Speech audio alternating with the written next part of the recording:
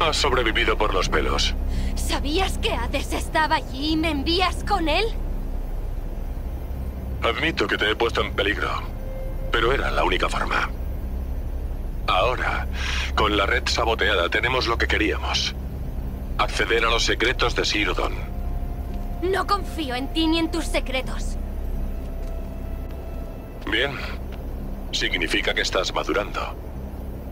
La confianza es de necios. Es algo cambiante como la arena. Una base pobre para una asociación. Pero el interés personal mutuo. Eso sí que son cimientos sólidos sobre los que podemos construir un nuevo punto de entendimiento.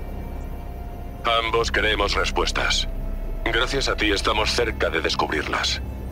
En ocaso, ya hablaremos. Será desgraciado. Maldito. Si pudiera tirar este foco y librarme de ti, lo haría, Silence. Pero ambos sabemos que lo necesito. Rumbo a Ocaso. Y a Sirodon.